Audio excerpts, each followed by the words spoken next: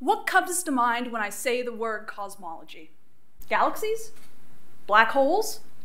What if I were to describe cosmology in terms of rhythm or rhyme? Can we chart the stars using chant or by counting meter? Can the universe be modeled by metaphor or by song? Well, then you say you're not really describing cosmology, you're describing poetry.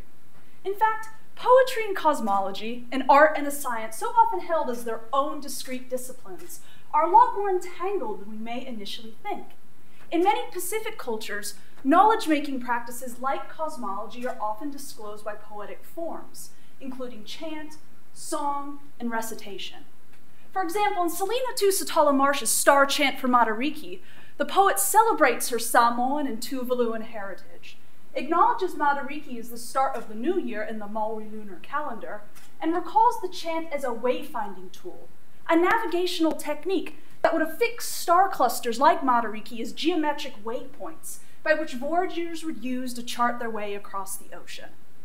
Using poetry by Pacific Islanders, my dissertation asks how a poem's illumination of multiple and diverse cosmologies may help us to rethink the relations between human and non-human, land and ocean, and time and space.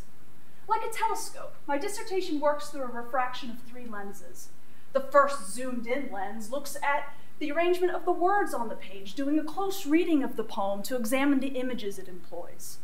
The second lens scales out to relate the poem to the research literature, particularly critical studies of eco-poetry and indigenous worldviews. The third and final lens asks the significance of this work, and why in reference to the peoples of the Pacific.